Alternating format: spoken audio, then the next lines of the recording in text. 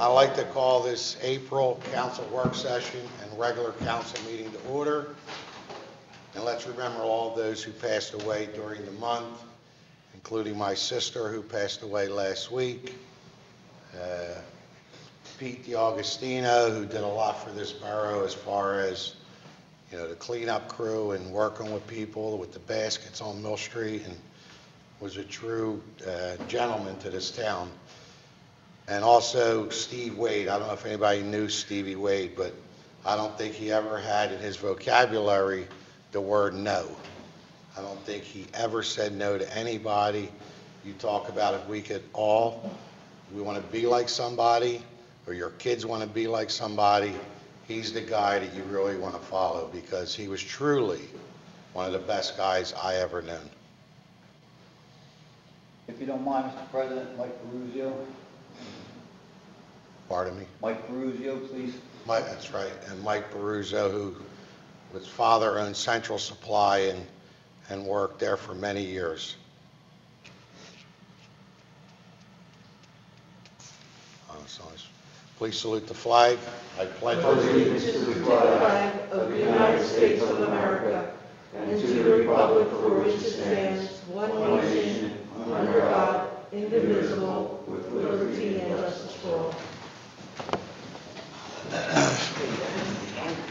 Huh? No, Mike was 70, yeah. 74. 74, Mike was. He was a gen, he was, he was a gentleman. I thought that guy lived to be. Mr. Gerard. Present. Here. Professor, Ms. Cohen. Mr. Gorman. Mr. Petroci. Mr. Di Giuseppe. Here.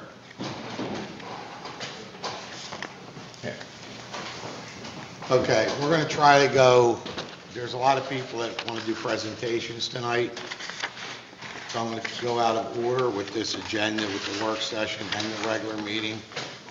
I think that before we get into public participation, I don't want to hold all these uh, groups up that are out there. Let's start, Chief, you got them lined up in, in order, so let's start with Morris Derry, I guess. Kurt,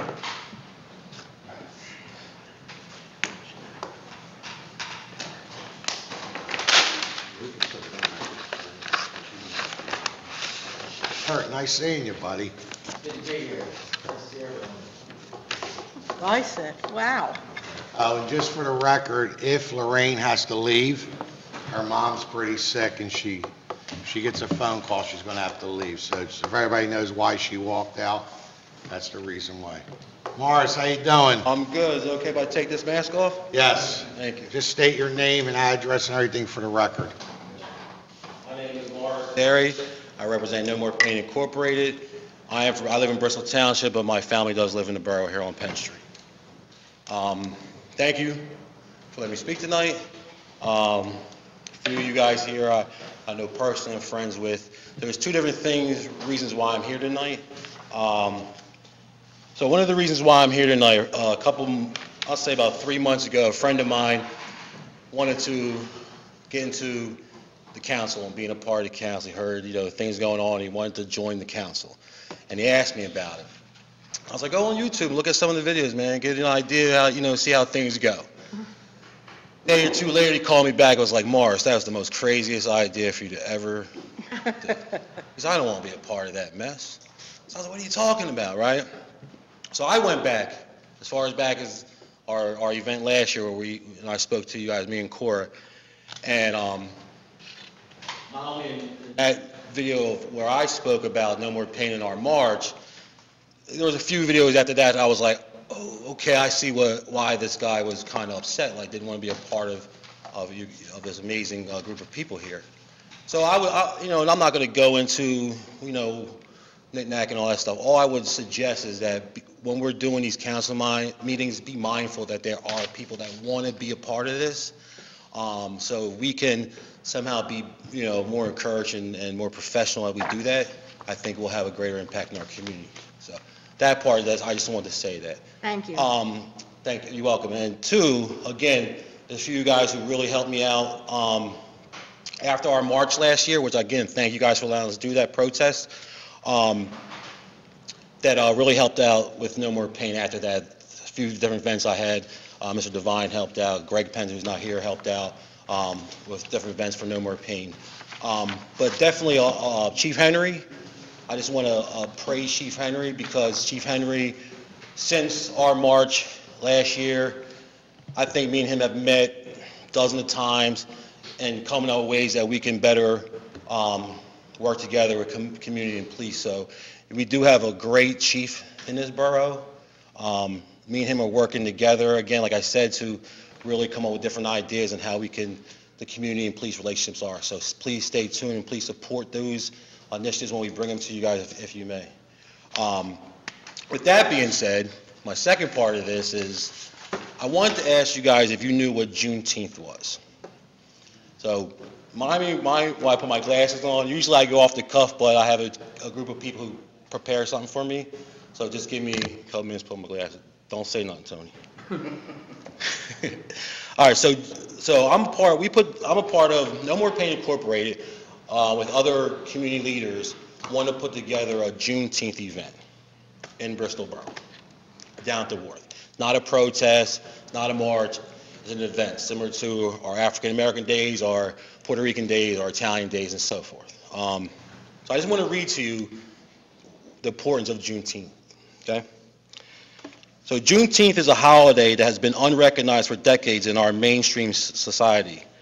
On June 19, 1865, enslaved black Americans graves in Texas, were informed by Union soldiers that they were free.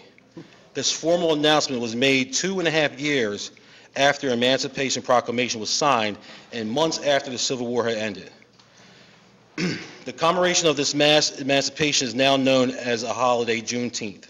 Help us celebrate the significance of this holiday and acknowledge its history and observance of Juneteenth. No More Pain Incorporated several members of the community, including the Historical African American Day Committee, have partnered with this event to com- commemorate this holiday as well as recognize the importance to our history and community. As a collective unit, we recognize the importance of celebrating our history and culture amidst a climate that has been unfavorable to those who have shared our culture globally. The Lower Bucks Juneteenth celebration will be held, if approved, on June 19, 2021, near the wharf at Bristol Borough, 12 to 5 p.m. It will include entertainment, include every- everything you would see at your normal events that you have down there. But again, you- you guys know how I am. I like to come to you, let you know what I'm doing in your backyard, get kind of like your blessing, um, and things of that nature. We, we uh, looked up everything we needed. We talked to uh, James Dillon. He did let us know that um, a few organizations did cancel their event, but didn't tell us if we were or weren't allowed to have an event. We uh, looked up the COVID regulations. We have everything, um, I have everything you can imagine from A to Z covered, down to COVID regulations and things like that. So I just want to present that to you guys, and if you guys had any questions for me about it, to answer Let me explain where we're at with all the events this year. We are not, as a council, and I think I could speak for everybody, are not canceling anybody's event. It's up to the, to the organization to cancel or to keep their event on. So right now, we know that Celtic Day has canceled. That's the first event every year. And Puerto Rican Day has canceled because it's their 50th anniversary, and they wanted to make sure it was a great celebration. African American Day follows. We haven't heard anything. Then it's Italian Day, uh, the Doo-Wop, and Bristol Day in October. That's our events.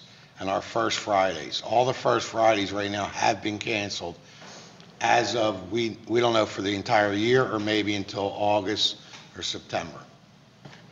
As far as your event, I don't think anybody here is, would do anything we can to support your organization. So if you think you can make this happen, how it works is you get an application, you fill it out, council never meets with you again. You go through the emergency management, Mr. Merle Winslow, and our police chief. They do all the events, they help you organize it, tell you what you need for the event, they set the parameters of the event, and you're, you are dealing with the governor's restrictions also. That's what we looked up If to you go. think, Marsh, you could pull it off and it's, it's great, we support you. So I don't think anybody here is against, You come here, you- like I said, I don't want Just to let us know Let you and- know what's going on, and Exactly. I know last, when we, last year we did a protest, it was kind of different, and so we if you invited pulled you that guys. off to group. with the, in the class that you did with that, I'm sure you could pull anything off. So you did a great job with that. Yeah, you did. I Appreciate that, guys, thank you. So I just, that's all I really wanted, just to bring those two things to you guys, man. Um, and again, thank you for supporting No More Pain. There's a lot of different organizations being a part of this event, so as, you know, you'll see those names and those, those organizations come later, but there's a lot of people that really want to see this happen, and we really want to do it in Bristol. It's, it's kind of like we, we want to host the first one here, so it's like every year it might be somewhere different. Right. But I think this year, hosting it in Bristol and having the success we had last year um, with, with a protest, if if we're doing a a educational event, I think that'll still, and, and it's, and it's more about inclusion and diversity as well. So, you know, our main goal is to bring people of all uh, backgrounds to this event, just to be educated and understand what Juneteenth is. So I thank you guys. So this is Mr. Dillon, I know you said you spoke to Mr. Dillon. I, we emailed. Email. Jim loves emails, so I can tell you that. You send him an email, he's going to respond to you. And you got the application? We Yes, sent the application. thank you, thank And you. on a personal note, if there's anything I can do personally for your organization, I appreciate you guys, just thank let me you. know. Thank you guys so much. Have a, Thanks, have a good Mark. run of the night. And behave, man. So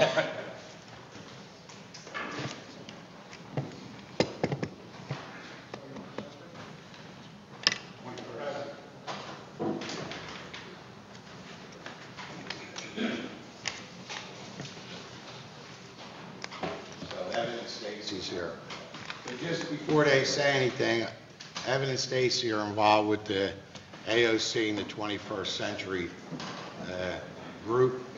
The mayor is also on the, the board there of directors with the AOC, and he's been from day one working with these organizations. So we had a meeting, I think, was it a week ago or something? Yes, just last week. So we had a meeting, myself, Mrs. Cullen, Mrs. Rodriguez, the AOC Board, uh, members of the Bristol Borough School Board. And We're trying to brainstorm how we can improve the town on recreation, not only on athletics, but also education-wise. So, I mean, they have a great program, and we don't want to buck their system. We want to jump onto their system and just keep making things better. So they're here, which they come every year, to try to just give us a brief overview of their summer program. And uh, Mike Plablasky from the school, uh, school board, has a great uh, programs going that he likes to implement.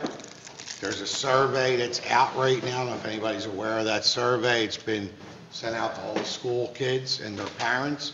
I think so far about 100 people, am I right, Stacy's been, we've been seeing the surveys come in, so about 100 people have responded so far to the survey, and uh, I'm going to turn it over to you guys and just give us a brief update on what's going on.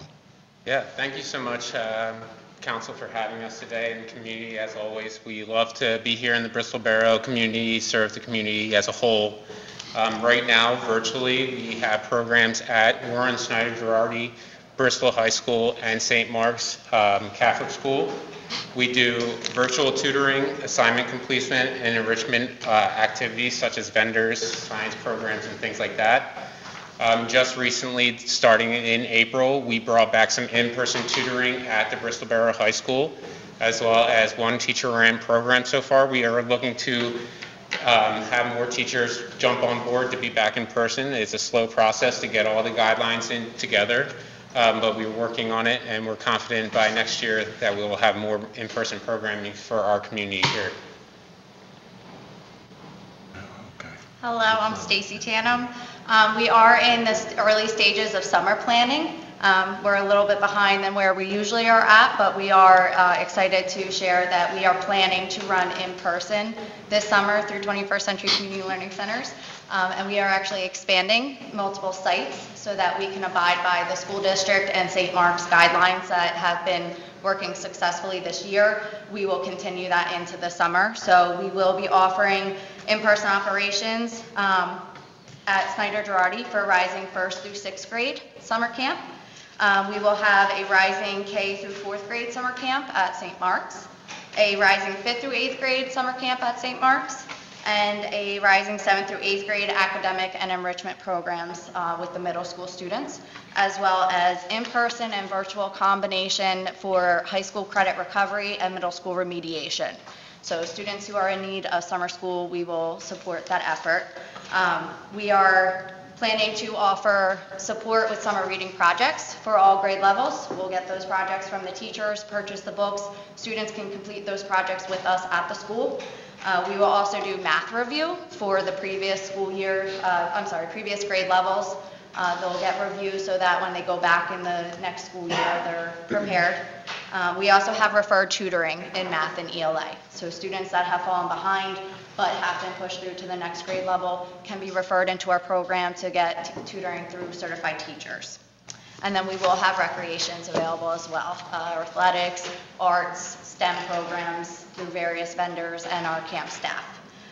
We are hiring for the summer, uh, since we are expanding sites and following distance guidelines, we will need extra staff. So um, we do have a online job application that we can share through the community. Um, And we are opening registration on Monday, uh, April 26th, I believe it is. Um, And more details will come out as registration is open, but we will be able to share the dates that each program is running at the various sites. Um, Details vary per site based on each cohort, since we do have the three cohorts of grant funds. So details will continue to come out, um, and we'll make it prevalent to all of the schools, all the partnering schools and and districts. Do you have an email address, or how are they going to sign up? How, It will be an online registration. We'll make that available on Google Classrooms, through email, um, on the district and school websites. It'll be blasted on the social media sites. We've gotten pretty good at getting into all the little corners since everything has gone virtual. So it will be an online registration per site and available to all teachers and students and parents. Also trying to get uh, Mr. Poblaski here, hopefully in May or in June, to try to give us back with uh, uh, Stacy to try to get, uh, give us some outline of what's going on with the survey and where kids are and, and things like that. And if we could implement something maybe this fall, but right now, I think with COVID and everything that's going on, it's so hard just to try to start you know, bringing in new programs, like kickball was a big success last year before COVID. We had to cancel it. Uh, Basketball, we had no basketball last year because of COVID for the, for the kids. So there are some things, and they're also looking into senior activities. You know, we do have a lot of seniors that want to do things. So it looks like we're all on, on a good track right now to keep moving. Mr. D'Angelo submitted some of his requests, at the- he couldn't make the meeting. I talked to Mr. Chicoletti, the school board is 150% behind this uh, group, working together. So things are looking good, and if we can move forward, I didn't know how big this online sports is, where they, they compete against each other and all this Cool. stuff. So you think it's just on the fields. it's, they said a lot of kids are competing online. There are scholarships and all for this stuff, which is amazing, so. uh, Joe? Yeah, Can you just talk a little bit about the, the survey and the uh, wide branch that the uh, survey is going to reach? Because you guys Yes. spent a lot of time in putting that together. Yeah, so what's great about the survey is that um, we are able to gauge the interests of the parents and the youth in the community. So not only to just offer sports or baseball or basketball specifically, but um, more options that might be more recreational versus competition-based, um, more pickup versus leagues, um, things like that, offered at shorter amount of times, different times throughout the year, because people are available all different times, in the summer, in the spring, evening, Saturday morning. So we've, we've tried to encompass all of the options and gauge what the interests and needs are. Um, And it's a great way for all of the community organizations to see what the interests are and who can offer those different activities. Um, There are a lot of great organizations in this community. Um, 21st Century would not be a success without the support of the council and the school board and AOC um, and the the PAC and the PTA and Thrive.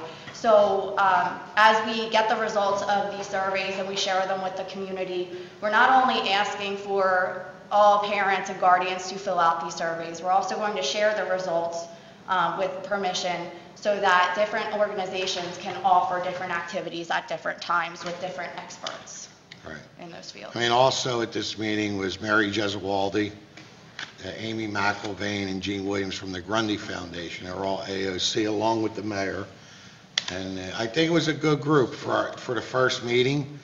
And again, it- this COVID is just putting a damper on anything, and it's starting to get, you know, you think you got it under control, and now you're hearing it's spreading again, so, you know, the kids are playing baseball. I've been to numerous games for my grandkids. Uh, I don't know, we're doing the best we can, I think, as a town. So, anybody have any questions? Thank you for coming in. I would just and like to thank appreciate you it. for all your hard work. I really appreciate it. Thank you. We want to thank you guys as well. Without you guys, it would be really hard for us to, you know, thrive as we do. So thank you, community And- and the school board and everybody here in Bristol Borough. And the mayor is like acting as our liaison, he could, he brings us up to date on, even when you're not here, he can let us know what's going on. You else have been incredible. Thank you. Thanks, guys. Thank you. Thank you all. Good luck. Have a great one. I think the Grundy Foundation is next. I don't know.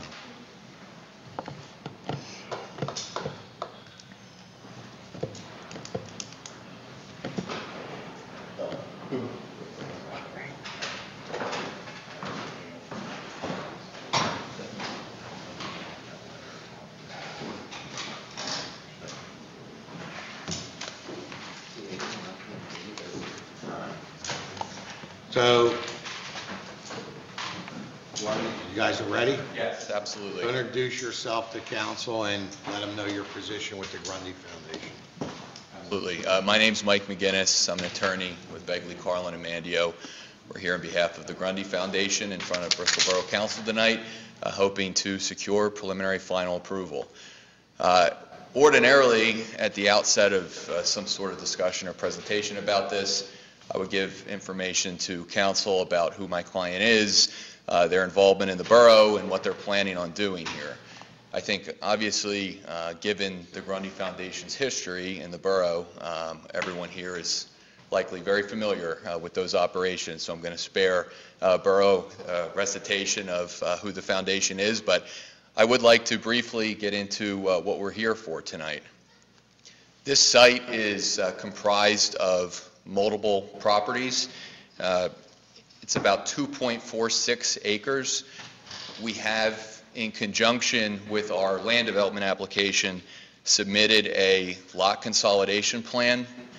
If we are able to secure council's approval tonight, uh, after this meeting, we're going to work in conjunction with Mr. Salerno's office to make sure that all the documentation necessary uh, is approved by Mr. Salerno so we can record the appropriate uh, deed of consolidation and to move forward. The project is going to be phased. Uh, We're attempting to secure council's approval tonight for the entire scope of the project, but I will say, with respect to our internal team conversations, we've referred to this as sort of a a three-phase operation. The first phase pertains to the museum-associated improvements. The second phase uh, and third phase associated with the library annex addition and the amphitheater. And you can see the amphitheater as depicted on the rendering uh, in front of council tonight. The first phase, we're seeking to really begin construction as soon as possible. We're very excited and motivated to move forward. Our hope is that uh, we're able to really complete our improvements with the first phase by the end of the year. To give council a little bit of background with what the first phase is going to comprise, um, it's really consisting of the installation of a bathroom facility, uh, benches, ADA-compliant paths, uh, pavilion, comfort station, and construction of stormwater facilities sufficient to address the improvements for Phase 1. Um, The reality is, we're hoping to be able to host some outdoor events at this location, and we're sort of restricted uh, from doing that right now because we really don't have the appropriate restroom facilities on site. So we're attempting to address that. And- And just to be clear, these restrooms are, are not going to be just public restroom facilities that are open to everyone. The hours of operation of the restrooms are going to be tied to the museum tour, uh, just because I know that that was a, uh, a question that's come up as we've discussed this with the zoning hearing board and with the planning commission. The latter phases are going to consist of the construction of the amphitheater as well as a uh, construction of the library annex. So uh, even though we're here tonight to uh, hopefully secure approval for the entire project, it is going to be phased, and Phase 1 is going to deal with the museum-associated improvements. Uh, This project, I know, I think council's aware, has been in the pipeline for uh, quite a while, well in excess of a year. We appeared in front of the zoning hearing board and were fortunate enough to receive a number of variances back in July. And we appeared in front of uh, the planning commission in December and received unanimous recommended approval. Uh, I know our engineer, Sean Torpy, uh, from Pennoni, has been in regular dialogue with uh, Kurt and Amanda, and uh, I think we've, we really have a, a pretty clean review letter from Gilmore and Associates tonight. And we've worked pretty diligently to address the uh, outstanding issues. Uh, I will state that Grundy Foundation, and- and speaking with the director, they really view themselves as partners uh, in the community here. Unlike some, you know, private clients, everyone looks at this and is trying to do something that's good for the community, but this is really geared towards truly public improvements that we think are going to be a benefit to the residents, and it's really going to continue uh, the borough's efforts to kind of beautify this area of the borough. And I think that's, if you look at it, it's really depicted on the rendering that we have here, the, the investment that we're uh, trying to make to the community. So, um, you know, we're, we're hopeful uh, that the borough uh, continues to work with us. We've been really excited about the borough's efforts to date. We appreciate your support. Everyone's been great to deal with, and uh, we're excited to uh, get going on this as soon as possible. So, we have six waivers. Um, I'm more than happy to, to go through the waivers and why we feel, feel that they're warranted here. Uh, Whatever council's, um, you know, plan is, we're happy to address it, or we can address questions specifically oriented to the project um, for the plan. So with that, I'll, I'll turn it over to you all, and and thank you for your consideration tonight. Does anybody have any questions on the waivers they're requesting? Kurt, we have no problems with the waivers that they're requesting, is in... No, we support them. You support them? Ralph, can I, I just want to ask Mike, Mike, can you just briefly uh, let council know what efforts the foundation and Gene went to, to reach out to his neighbors before he even proceeded with this plan? Yeah, and uh, Bob, you can address this too, but we've been, you know, everyone knows Gene. Uh, This has been, what, two, two years probably of dialogue? Year and a half. Yeah, year and a half, where um, I know Gene has uh, had discussions with really everybody that he can in the community about this, all of the surrounding property owners. We volunteered to have conversations with some residents who came to the zoning hearing board uh, to voice their opinion. I mean, we've been fortunate that everyone has been pretty supportive, but even the uh, residents who've had some questions, I know Gene has made himself available uh, whenever he could to address any of the concerns. Um, So, uh, you know, if Gene was here tonight, I- I'm sure he would have affirmed that to the borough, and I know he wanted to be here tonight, and he's, he's uh, said that he can't be present for medical reasons, but he's, he's really gone out of his way to include everybody in the community with this uh, discussion about this project and what we're intending to um, construct here. So, Yeah, Gene did send out letters to all the neighbors, and uh, they were going to have a uh, function at the library, but because of COVID couldn't, but they did have a Zoom meeting and invited everybody to Zoom meeting. Again, our, our concern is always the people that live right across the street. Mm-hmm. So I know Betty and Michael has a major concern with that, and I think it's been worked out with all the neighbors. Like you said, with COVID, it's very hard, but I know that you know, it was a concern of theirs as the council. And also Mr. Gatrochi lives directly next to that, that building. So, if I mean, he's happy with it, and he's got to deal with some of this. But I think when it's done, it's going to be like a college campus. I mean, you know, it's going to be gorgeous. And they're putting $11 million into that, that building to make this town a lot better, so uh, Yeah. hopefully council approves this tonight and we move forward. Yeah. Okay. Any other questions? Thanks, guys. Thank you. Thank you very much. you don't have to wait around if you don't want, it could be another hour or more. All right. Well, we appreciate your I consideration. know you're on a clock, we want to save the library some money. That's right. That's right. Gene We've will- been discounted rate. Gene will thank me tomorrow. Thank, thank you again. Have a great night. Who's, uh,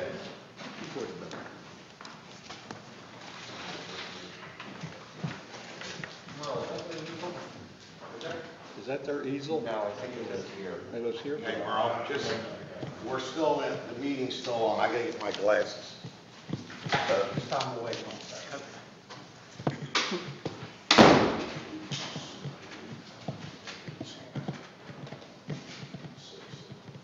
Okay, yeah, I have it here, on my list.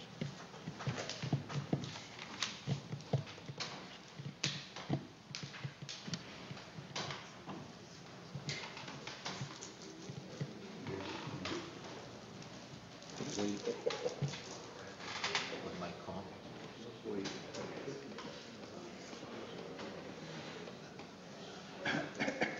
You want- Six, eight, Something, they're not saying it, so. You know, the call plate is the chairman now. We never had somebody person. Right. Always do that.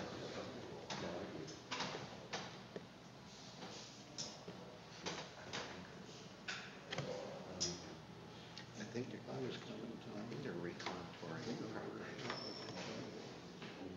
Because right now it's, uh, just, so I think they're going for advanced lawyers.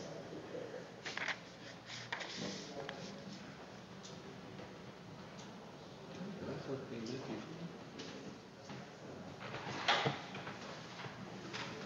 Can't see.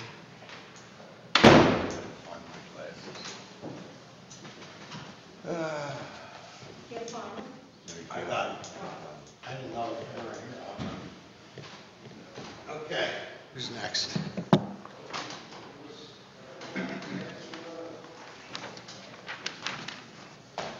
Good evening, council. Chris Chapman, East Ward. Just about all of you know me. Address, Chris. Excuse me. I'm a little, my voice is a little rough from uh, opening day of flag football yesterday, so bear with me, please. Um, First off, I'd like to thank uh, Councilman Devine for all his help this year with us setting up our flag football. Uh, Last time we had it, we had 12 teams, roughly 80 kids. Um, Actually, some of the council members sponsored teams, Lou, uh, Greg. Excuse me. This year, the number almost doubled. We've got 140-some kids and 40 cheerleaders. So it's been uh, pretty intense. Uh, But we've had some good people step up. Uh, We were lining the fields ourselves and officiating it, uh, excuse me, and officiating them um, ourselves. So, uh, you know, it was pretty chaotic, but some good people stepped up this year.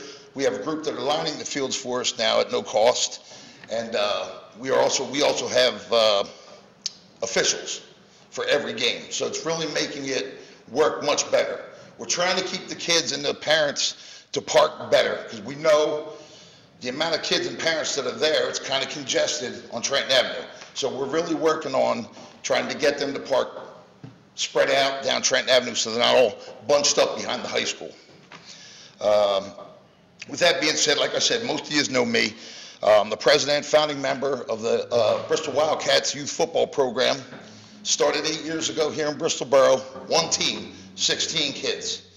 In eight years, we've grown into five teams, cheerleaders, excuse me, we've added in flag football, and uh, the program just keeps growing. Over and over, more and more kids. Uh, Some of the local programs are actually dropping out. I noticed the Bristol Ward Dogs are having problems with their field, um, so they're actually not even competing in our league anymore.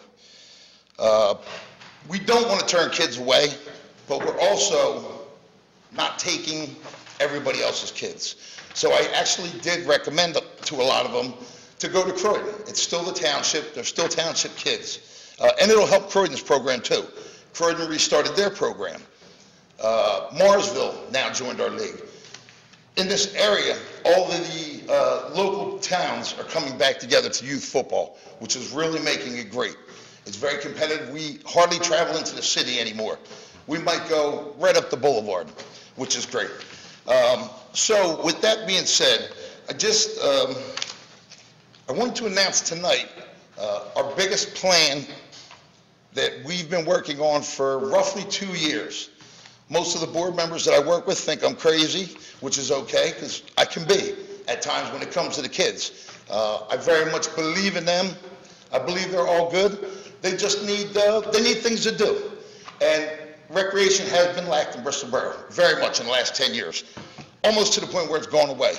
I mean, my son played Little League Baseball, and I fully support Little League. I believe all the kids should be playing Little League. When we were young, everybody knows, there was so many teams right here in the borough. We didn't have to compete with Croydon, Levittown, Falls Township, but now all our kids are disappearing. I think Little League needs a, they need help. They really need help. I mean, anybody's been down there with kids, uh, you've been down there for your grandkid, I see you down there. Um, You know the bathrooms, they're shambles. They're constantly backed up, or they don't work. It's just a mess. So it would really be nice to see uh, the Recreation Council or whatever step up and really help Little League a little more. Um, I know you guys are doing a lot of work to the fields, which is coming out nice.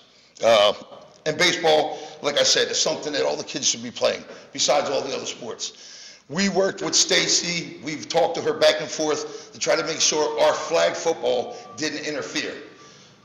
Certain coaches were coaching on certain days, and certain kids had practice too. So we had our coaches change their practice days so that would not affect Little League Baseball at all um, which I thought was very big of my coaches, to step up and do that, knowing that, you know, you understand how it is with a coach. Nobody gets paid, it's all volunteer. So um, with that being said, I wanted to make a very big announcement tonight that we've been waiting on. Uh, The is going to break the story in a day or two, but we wanted to uh, come here first because I'd say the whole town pretty much watches these meetings.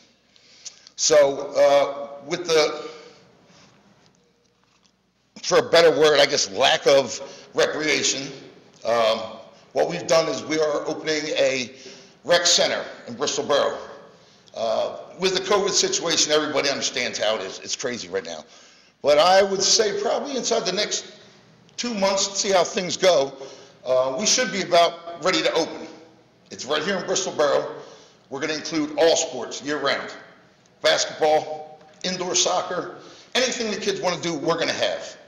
We are also, three of us that sit on the board are renewing our member, excuse me, our mentoring licenses. I've done it for four years out of FDR. Now I'm going to do it here in the borough. Uh, Two other people are stepping up and also getting their credentials straightened out. So we're going to have a mentoring program there. We have a couple local teachers that are, that are going to help us with our student athletes.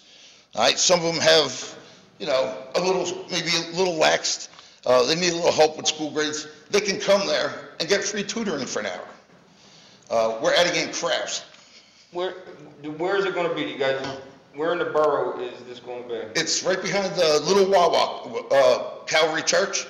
If you look behind there, there's a red metal building. Yeah. It's a full gym. It includes a full kitchen, full bathroom facilities, full everything. So we have parents that are gonna do crafts at night with kids for certain groups.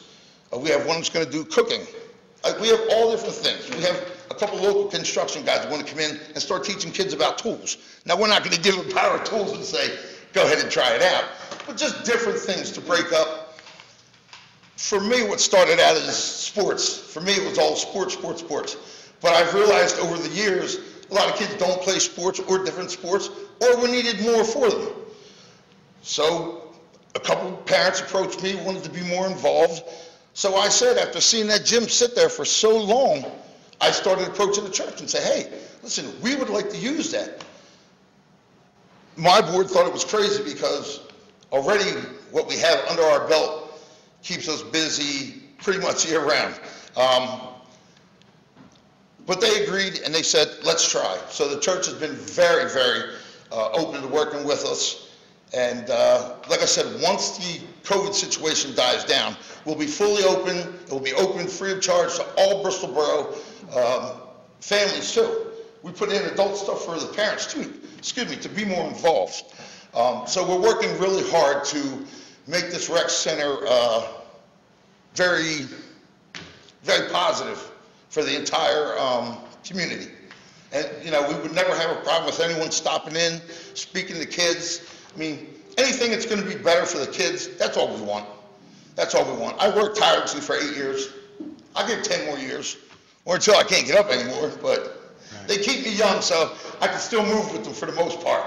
Uh, But again, I wanted to thank Mr. Devine because we were, um, this year with the amount of kids that came out for flag football, we were overwhelmed, and he was able to point us in the right direction for people that said, you know what, yes, I'll sponsor a team, yes, I'll sponsor a team.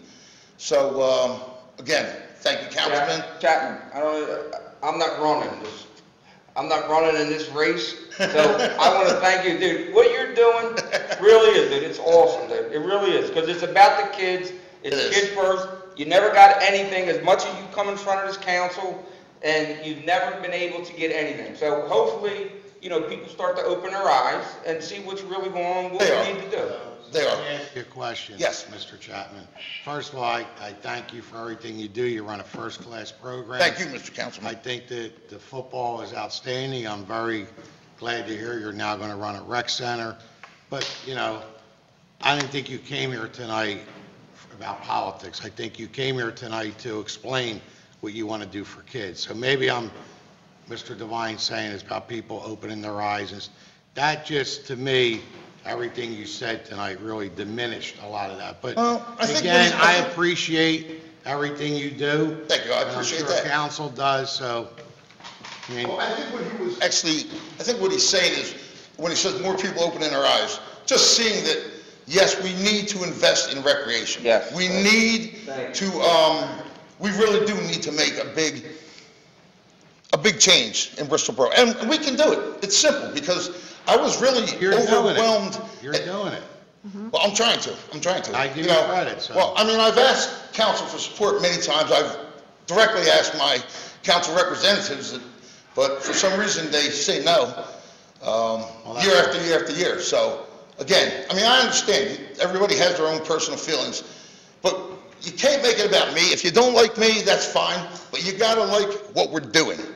I mean, when you have 150 to 200 kids, if, uh, at no matter what we're doing, and still growing, I Are they mean, all playing for nothing, or do they pay? no, no, for certain sports, of course, cost money, because we provide uniforms, uh, equipment, but anything that we can make dirt cheap, uh, we do. Like our flag football program is the cheapest in Bucks County, upper, and lower, you name it. We made it cheapest. Uh, I have a great rapport with the sporting goods uh, company that we use, and we've used for 10 years now. Um, We have good companies that have helped us uh, with equipment. I mean, football helmets, of course, football season, biggest cost. I mean, figure for yourself, we got 125 kids playing football. These helmets are good for two years, then you either have to recertify them or get new ones. So the difference in the cost of money, it, for us, is better to buy the new helmets. So we found good sponsors that, you know, help us across the board. But again, I appreciate your time. I wanted everybody to know what's going on. Um, Like I said, there's a nice story coming out, there's some other things coming out, and we're going to actually have a townwide celebration. We're going to invite the whole town to come out, see the center, see what we've done to it. Um, Again, I have to thank some of the construction guys in town because quickly, in that rec center, it was a cement floor. You could still play basketball on it, but when a couple of them heard what we were doing, they actually stepped up, excuse me, Ah. they actually uh, stepped up and offered to put in a hardwood basketball floor. Awesome. I was uh, pretty overwhelmed. Yeah.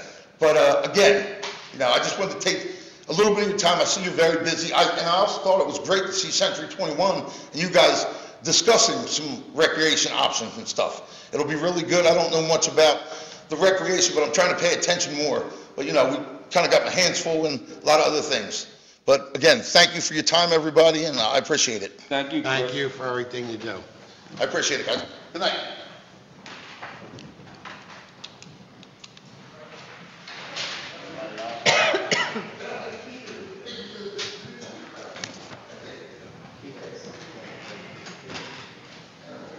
Good evening, everybody. State your name, address, and Uh, My name is Sam Scalzo. I'm at 524 Adam Street. Um, Thanks, everybody, for your service to the community. I Greatly appreciate it. Um, So three things I want to talk about tonight. First thing, um, I noticed when I walk my dog, there's still some places where the trash cans aren't replaced from the springtime. I was wondering if there's a timeline when they'll be back, or if we could potentially add more if some were, uh, you know, ruined. where do you walk Sam? The, at the, um, Behind Lennox? yeah, like uh, behind Lennox, there. They all get picked up in the winter and get brought back probably in the next couple of weeks. Okay, great. And if, and if, if there's like, um, if there's a way we could add like one more, like behind like the football field, like that uh, stretch of path there. You know, with, with all the, everything going on, you know, I understand Borough can only pick up the trash so often, so it just could help out. Picking up trash at least three days a week, Yeah, plus weekends Yeah, right and- now, so. I could, I can't tell you how many times my dog has picked up one of these, so Right. it's, I, I get it. Um, The other thing I want to talk about is um, some pedestrian safety issues I've seen throughout town. Just, I've been jogging around here since I was a freshman, I'm now 30. Um, And, you know, there's a couple ways that, you know, we can work to improve that, you know, signage, enforcement, and also physical, like uh, necking down, like crosswalks, like, um, you know, at LBI and Ingleside Avenue. Um, and I see it down in the city, and I think a great um, area where that could happen is on Mill Street, where the parking, where you eliminate like a parking spot or two at the intersection.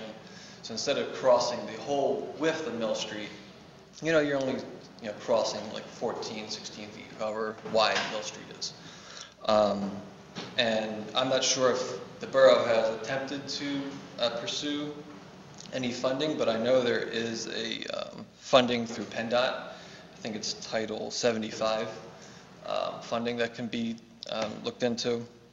I just wanted to throw it out there because, I mean, I'm, I'm guilty of the Bristol roll just as much as anybody else here. And there's some, there's some hot spots. I can't tell you how many times I stand on the corner of Mill and Old Route 13 trying to cross and someone's trying to make a right on red through that white checkered and, you know, I'm, I'm throwing up my hands and, you know, me versus a car, I can only jump so high. Um, And then another bad spot is at Wawa and uh, Farragut Avenue with the, uh, you know, path crossing right there. You know, like, there's a sign, like, in front of the library, like, maybe just get another yield to pedestrian sign there. So just something to look into. Um, Then the third thing I wanted to talk about, something that I wake up to every morning, and it's the construction of Mill Run. Um, You know, it's been going on for how many years now? I Too mean, many. Long yeah. time. I moved into my house in May 2016, or December 2016. I wake up to it every morning. For the past three months or so, I've noticed Mr. White there more frequently, monitoring, I guess, what's going on. But I still see one guy, two guys working there, so they just don't seem very motivated. There's construction debris out there from when they pulled conduit, there's scaffolding laid down there, there's bricks, uh, not bricks, uh, like foundation block, just sitting down there. You know, I wake up to it every morning. There's a tractor trailer that's been there for how many years? It's, you know, it's supposed to be a temporary condition, temporary construction site, but, you know, they're just taking their, their time. It'd be Is there a way as a town that we can kind of keep them accountable, keep them on a schedule. I don't know how the tax dollars are tied into it, or I think the term was, uh, was it the LERTA? So just so you know, they, they are paying taxes. Right. Uh, There's nobody that could force them to work any faster. Mrs. Cullen called a meeting with them about a month ago or more. Uh, The the whole team came in, and they tell you the same thing they're telling every other time there was a meeting, that they're going to be completed by the summer, which none of us believe. Uh, You know, the only thing we could do as a borough is tell them to clean up the outside, which we're hoping this summer, they did all the shrubbery, the planting, Yeah, it was very that the nice. outside starts looking a lot better. Uh, But besides that, I mean, it's like if you fixed your house and it took you 10 years to fix it and you're working on it, we can't come in and say, you know, you got to have it completed by this date. Right. The, the building's been transferred to them, so they do own the building, am I correct, Mr. Salerno? Correct. So, and it's on the tax roll, so the school district and the borough and the county is now receiving tax money. Oh, that's good. But, you know, we feel your pain. I mean, Lorraine and Greg deal with this constant. They deal with the constituents saying, what the hell is going on? Yeah. Until like uh, two weeks ago, there was a, you know, an RV in shambles just sitting there. And finally. That Bob- kind of stuff, we can do something. Right. You know, there's no question. I mean, that's what this meeting was about, keeping the place clean. As far as the inside, there- there's no, I don't know how you could force anybody to finish. Um, Right. Can- oh, Go ahead. I just want to say something. Um, Bob White assured us that uh, he was going to keep the area, you know, clean. So just keep an eye on it, give me a call, I'll call him immediately. Um, He's, they're supposed to hire someone to water the plants and do all that stuff, that's what he told us. Um, They put a lot of money in this Yeah. I mean, you And would I- think you're investing so much money, I you'd know. want to open it up. I- I Anybody opens agree. up- Anyone starts a business, they want to open up so they can start, you know, taking in money. I totally agree with you. And, and uh, at the last meeting, I was really angry, and I said some things probably that I shouldn't have said. Doesn't matter. I mean, I hate to tell you, but they're tough. They're a very tough group of people. That's all I can say. Right.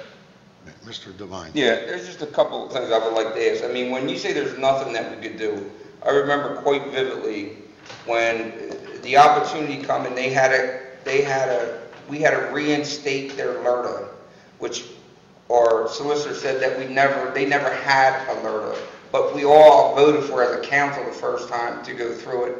And we were promised those things a while ago. And I remember sitting at this meeting and saying, well, they asked me, well, what do you want them to do? I said, well, what are our choices? The reason we gave them a LERTA is for them to get done, their job to give them a break and to work together, both of us together, so we, we would make a compromise. But what happened was that LERTA fell through, then our solicitor acted like it was never a LERTA. And now, when I said, well, let's hold them accountable, let's not give them a LERTA and let's do it, if that's our building, let's force them to, to move. But nobody agreed to that. That is exactly true, solicitor, yes, it is. I'm not going to get into this. It's not, I'm just saying, these these are, these are the things that Just let me happen. explain something to you. All right, Mr. you know, I'm Devine- still talking, if you don't mind, if you don't mind. It, it doesn't, Mr. Mayor, I don't know why you don't understand the idea, just because he's the Let president, Mr. Devine finish. doesn't mean when I- somebody has the floor, they're able to finish. I, I, I Finish. understand you like to chime in, and I don't know why they don't ever hit you with the gavel, because you chime in all the time. All right. Just uh, you ever wonder that? Give You you a don't little. ever get help. All right, so anyway, Mr. Scalzo. So the, the other part of it is this, so I have a question for council. So we have two very prominent Bristol Borough people that are on the RDA, right? That's Mr. DiGiuseppe and Mr. Pezza. So they, they should know way more than they're telling us of what is going on with that property. So maybe, Mr. DiGiuseppe, you can let us know and be open, what is it that's going on? Why is Mr. White over there? Isn't he retired? What purpose does Mr. White have over at the, I have no idea. you have no idea? He's not on the RDA anymore. Right, but you are, so why is he over It there? has nothing to do with the property. Okay, I'm They just wondering, bought why would he be over there, is what I'm saying. All right, let me just say something. See, I'm not going to get into this because it's just going to take up too much of my time. Okay. Mr. Devine does not understand the LERTA, and not to sit here Not again alert, tonight, it's alert. to sit here tonight and explain the whole process with the LERTA is just a waste of my time and everybody else's. So if you want to listen to what he has to say, that's fine. Simple If you want to process. listen to what I have to say, that's fine. Mr. uh, Kurt, do you just want to explain what's going on with the project? Briefly, please, because I'm not going to sit here all night and discuss this. Yeah, we're- we're involved in the site work, obviously, we don't get involved in the interior work, the building code officials are handling that, but the site work, as everyone's seen, has moved, progressed very slowly. I mean, the encouraging thing is, is that it's still moving. Know, projects that stop is always worse, I know it seems terrible, the the slowness that is existing now, but uh, they're at least making some, some progress.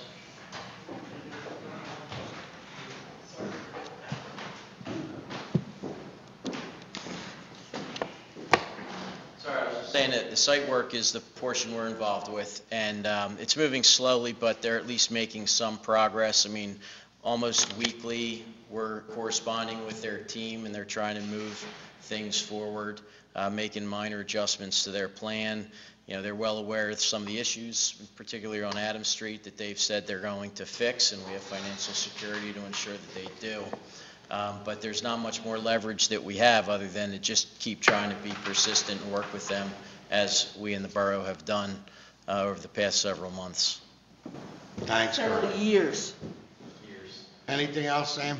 Yeah, so, you know, I know I wasn't around during the approval process, but I do understand, I was at one meeting where, um, you know, there's a lot of discussion about parking and how it's underparked.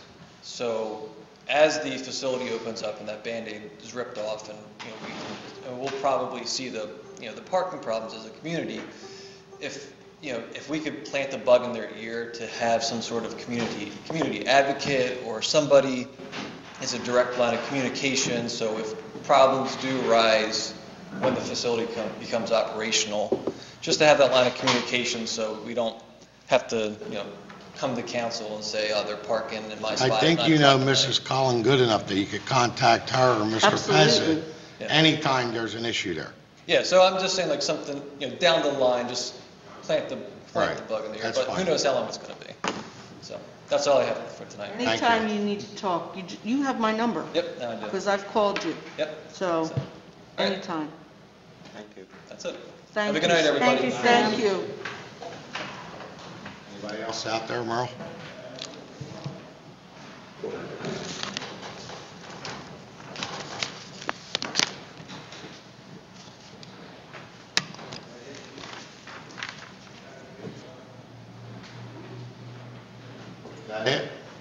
One more, he's saying. Good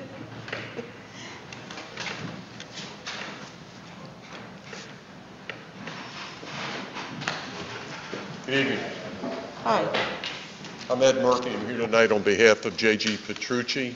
Um, I think everybody may recall that uh, last July is when we started this conversation with the borough staff about acquiring a portion of the Antonelli property and redeveloping it. So we've been working diligently for the last 10 months with the borough.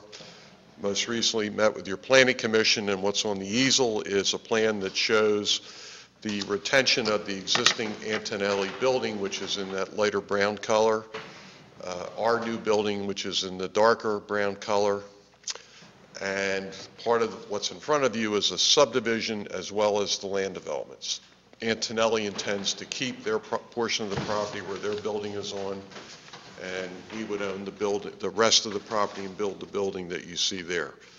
Uh, One of the biggest issues that we've been dealing with from the very beginning, and the borough made it clear from the outset that uh, they would expect uh, applicants such as us to uh, reconstruct Hunter Road.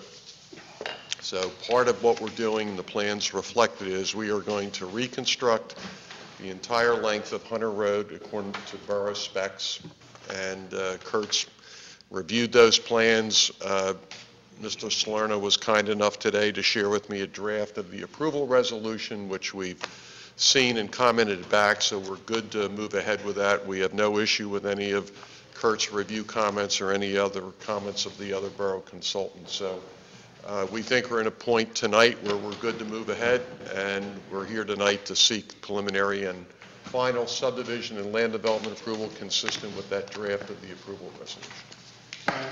Just so everybody understands, this is 100 and, how many thousand square feet?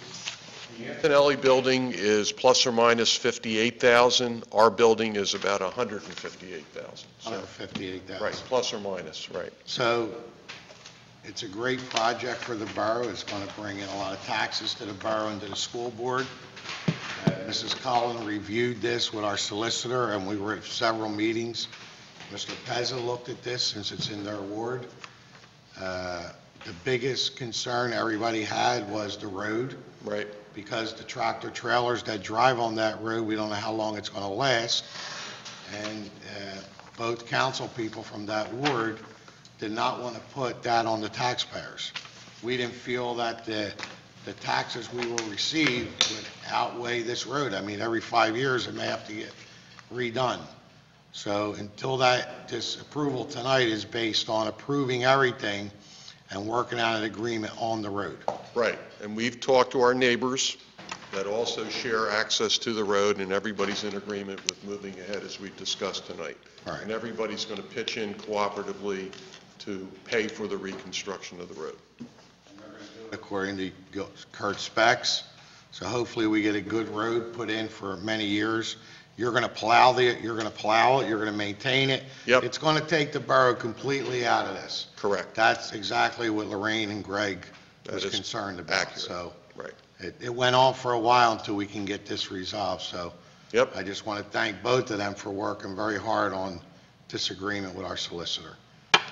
So does anybody else have any questions? Tony? Yeah, two things. Is there a way, Kurt, you can point to where that road is? 'Cause I don't even know what I'm looking at.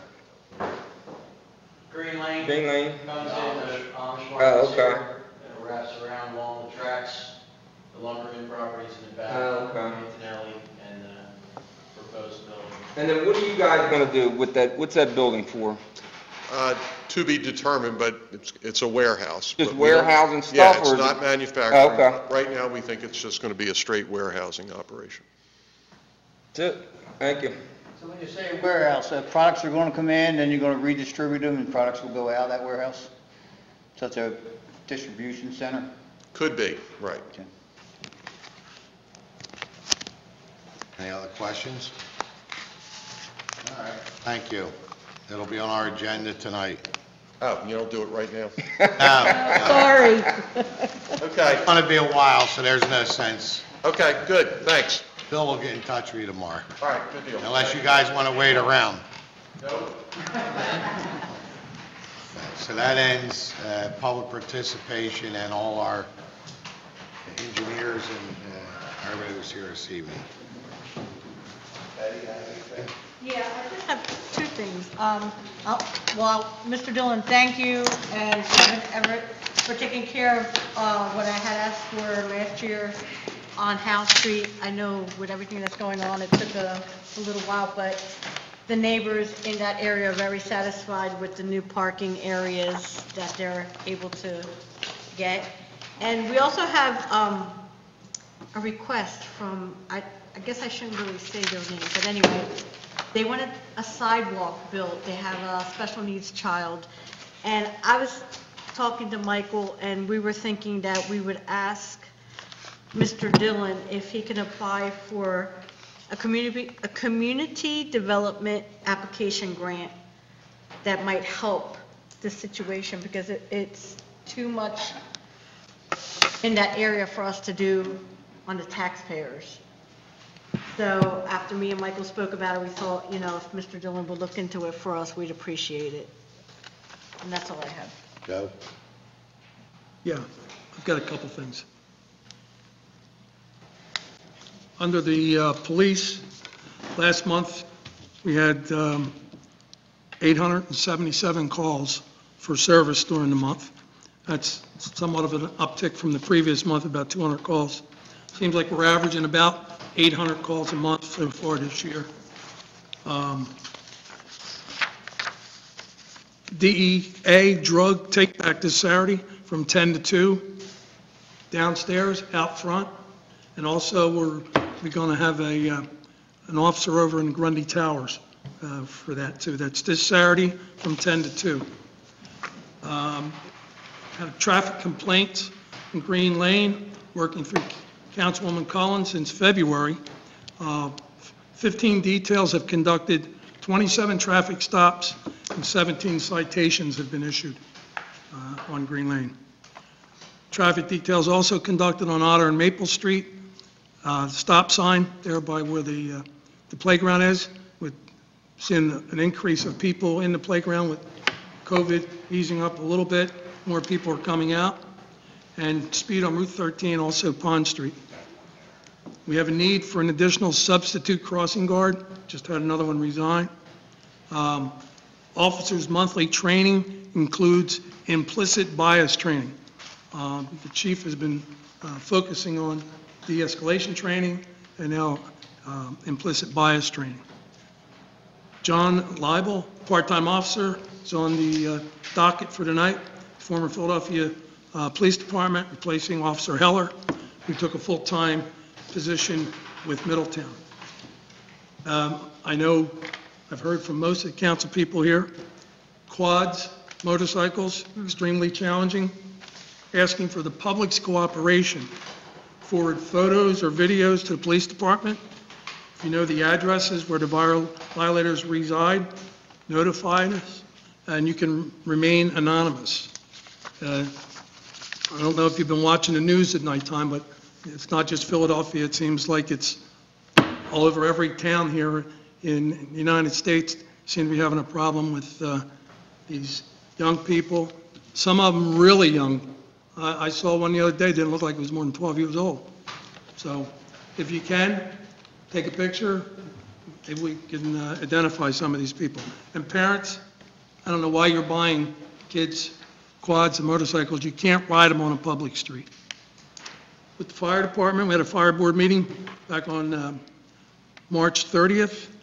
Um, Four fire companies that have formed the committee for restructuring, they held a meeting on March the 20th. Uh, I attended that meeting.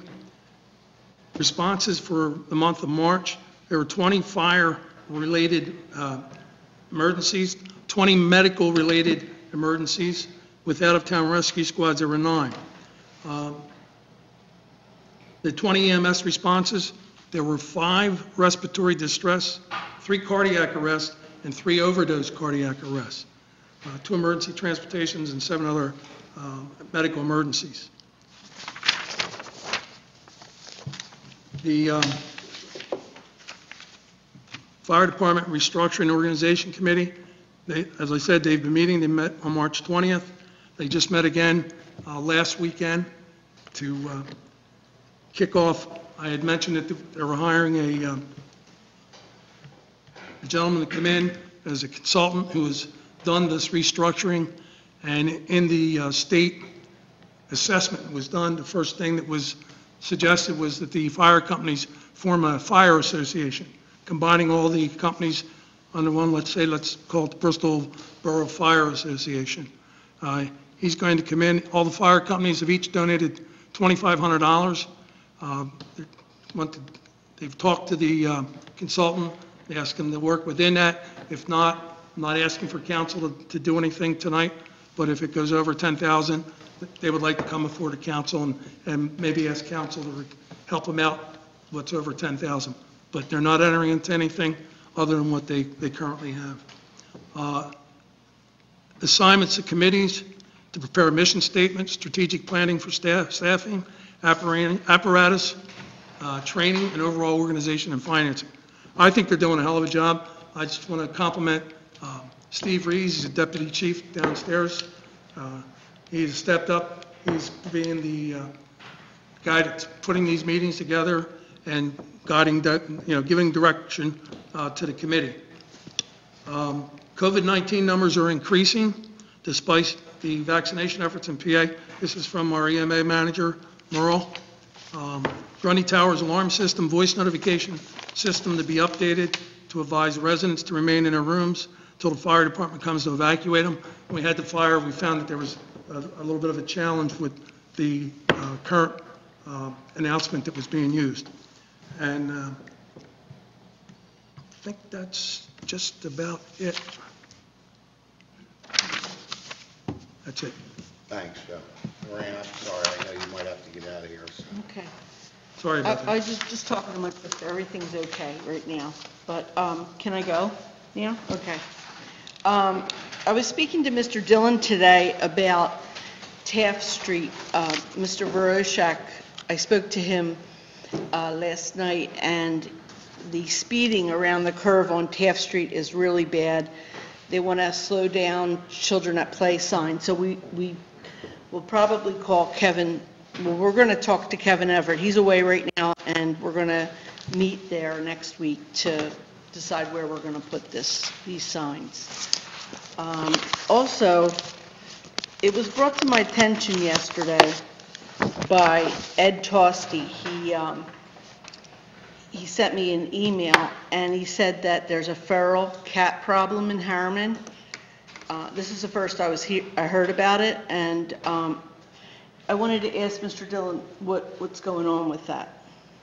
Uh, If I could ask the chief to come in, because he's been working on this uh, with our animal control officer. It's uh, really uh, disturbing the neighborhood up in that area, and it's a very difficult uh, problem, how to address it, especially when you have uh, one of the neighbors feeding all the cats up there. So that's got to stop somewhere along the line if this problem is going to get resolved. But the chief is uh, really taken this uh, problem and has been working with our A- AOC, I mean, animal control. We got the uh, recreation too. Apparently, I've I've gotten an education on it, to be very truthful with you. Um, There's a lot of challenges involving that, and it's a true problem to the, the people that live up there. So we're doing the best we can, but we have some true hurdles to go over. First of all, the ASPCA will not accept feral cats, and they will not euthanize them.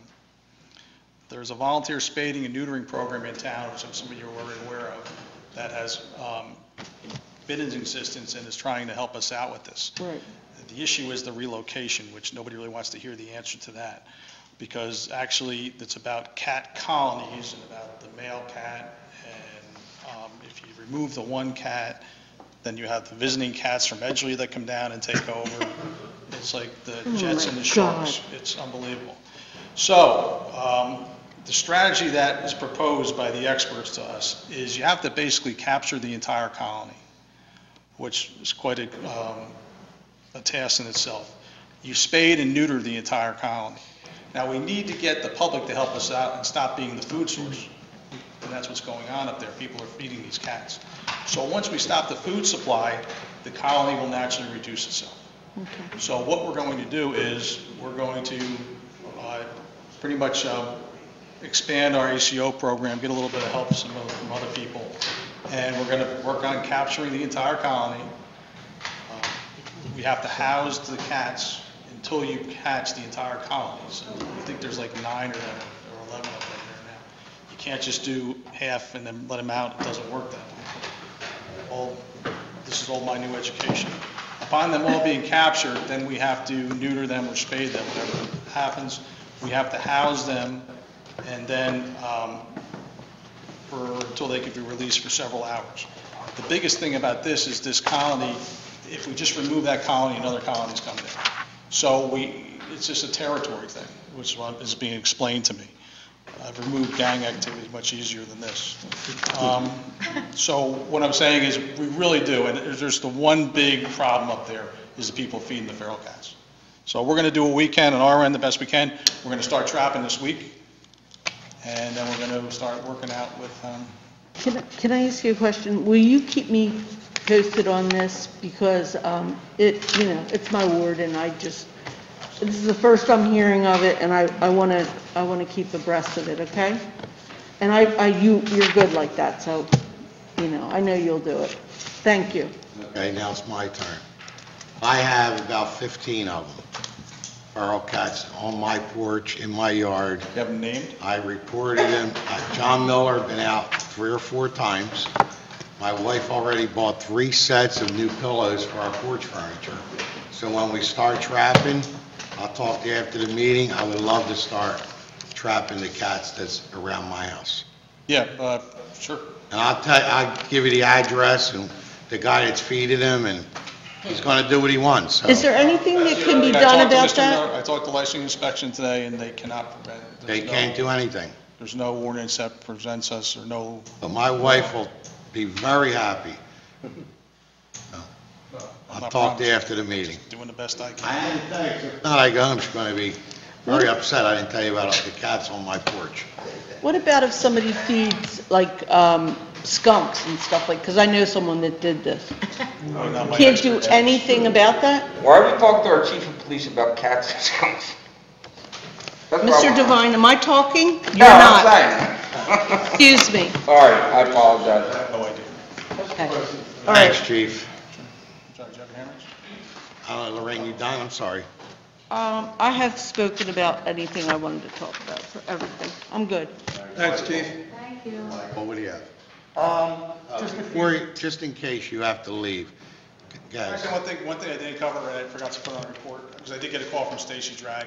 We are taking efforts also by the ball field, it happens every time this year, we get coming across 13, large groups and going on like that, I understand the parents if they're concerned. We had foot patrols out last Friday night, of course, the weather wasn't, um, well, I guess it was cooperative. I've talked to the the manager of the the pizza parlor up there and stuff, so we are addressing, we have direct patrol up there, we're gonna try to do a little bit more foot patrols and stuff. If possible, we have the two stop signs that are blinking coming up Jefferson. Uh, maybe, Jim, we can get two stop signs going the other way, blinking, so the cars coming from 13 and coming around heading into down Jefferson can uh, be spotted a lot easier. I think if we Yeah, can. those signs are great. I would like to put two more of them in. Yeah, they're, they're definitely a help to the pedestrians. Thanks.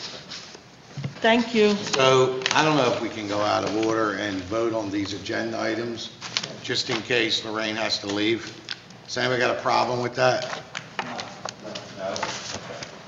So if you go to our agenda, and I'll go back to Mayor's Community Public, let's go to number three on the agenda. All right, I'd like to make a motion to adopt the resolution for preliminary final subdivision land development for Grundy Foundation, 680 Radcliffe Street, which expires date 5/5/21. And the motion is for the consolidation of several tax parcels, the construction of 5,580 square feet, addition to the existing library and outdoor restroom building and amphitheater, walkway, and two storm water basins, all in accordance with the conditions set forth in the attached, more detailed resolution which has been reviewed and approved on behalf of the applicant. Second. So I'm totally confused, so you have the, Betty made the motion on. And Louis, um... Louis seconded? Yes. Any questions or comments? All those in favor? Aye. Opposed? So on my agenda, number three is to accept the council Okay. minutes.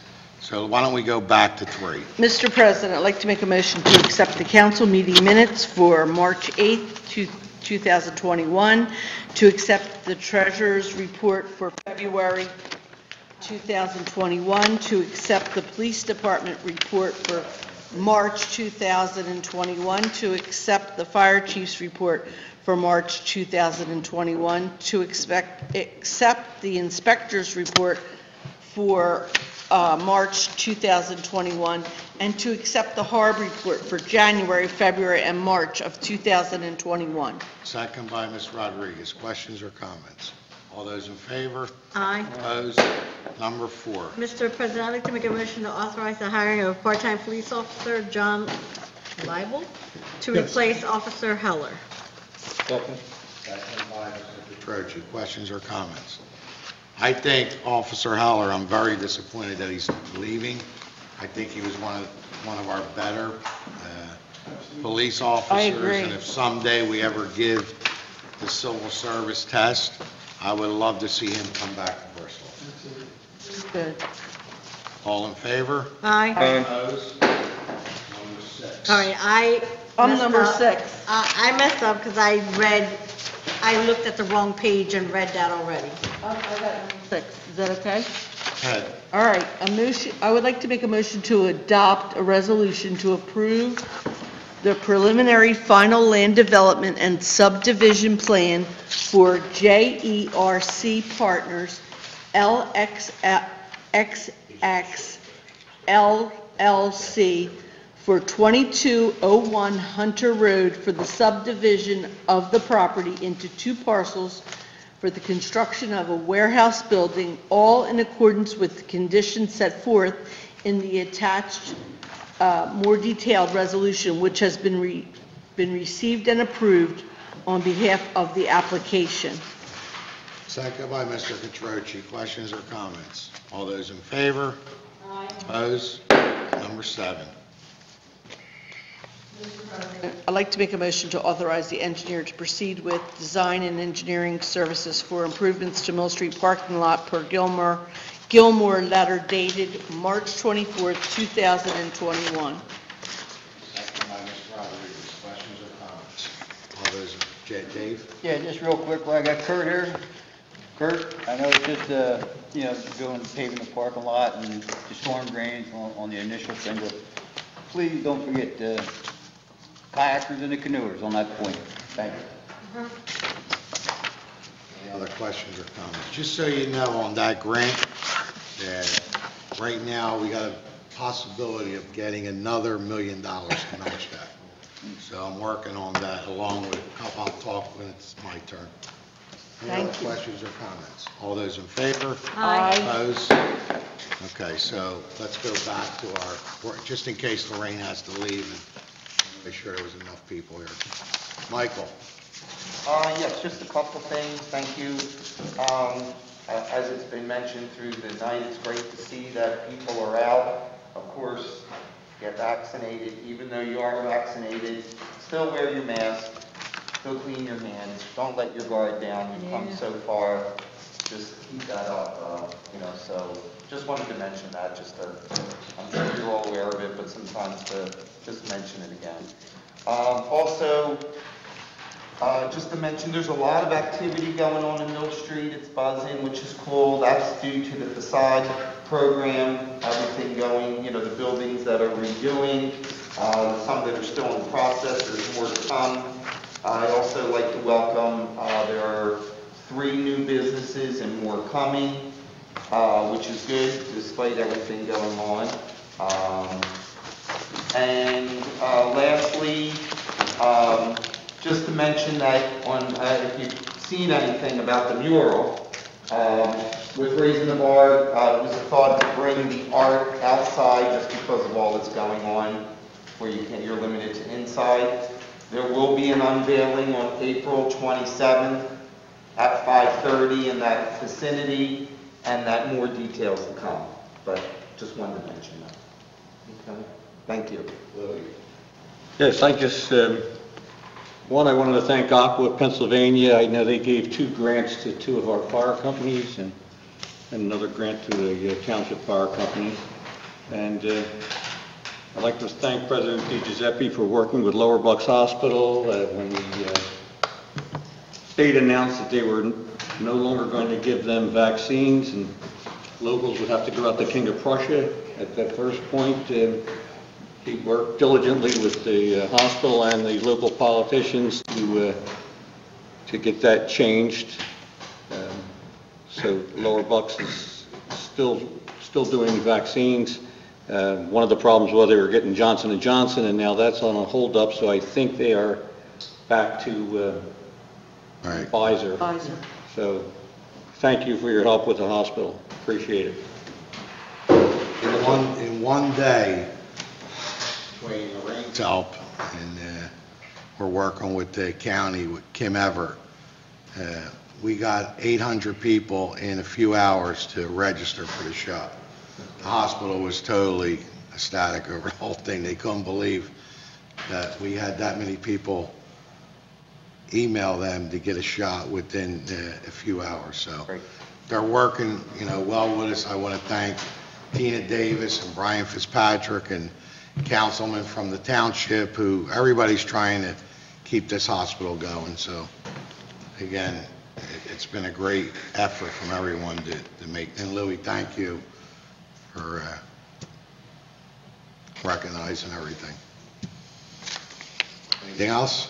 No, that's- Mr. thank Gerard. you. Yes, thank you. Um, A neighbor stopped me the other day, and uh, d- despite having a no tractor trailer sign a- at the beginning of the street, uh, continuing to have trouble with the tractor trailers come down there, uh, the idea of the uh, red light blinking caught uh, the neighbor's eye, and she, she asked me to bring it up at uh, council meeting for uh, just a general discussion that maybe uh, a blinking uh, yellow light on, to accent that sign might be a good idea, and I... Are there still trucks coming down Jefferson? Uh, come, uh, she's complained about coming down Mansion Street. Oh, and- yeah. And, and trying to make the turn on Corson, yes, so. Okay, Coming so. down, coming down. The signs we put up right now, if we were out there, all the new signs, it says no left turn. Are they still making the left? This, this, this, this complaint was from, from Beaver, turning on the Mansion, and then going down the course and where it's a hard ninety-degree turn.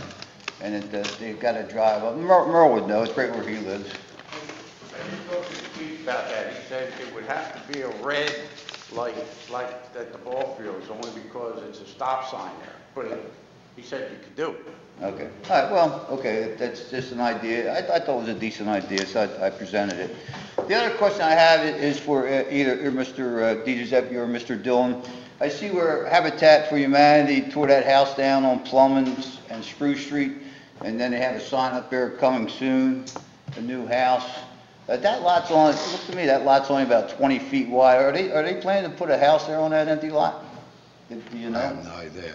You know, Jim? I believe they are, yes, yes. Did they tear a house down, Dave? Yeah, they tore a house down. Sure they could put it back the same size house. It, it's right on the street though, street alley, of Plum- I mean, it's, I mean, I wouldn't wanna live there, because people walking down that alley look right in your windows, you know?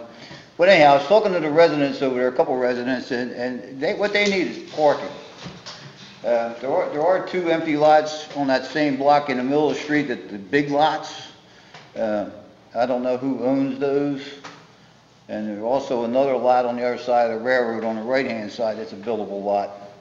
Uh, I, I thought we had to have 45 feet, or if they, see, there's no existing structure. I know sometimes they leave a wall up and they can rebuild to the Right. wall where you don't have to have all these things, but when the house is gone, I don't, dude, they're gonna need variances.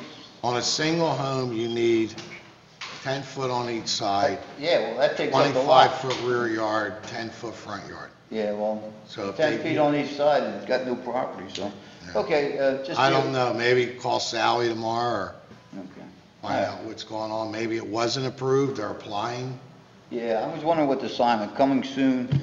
But anyhow, the people over there would love to have, uh, some parking here, so, okay. That's all I got, thank you.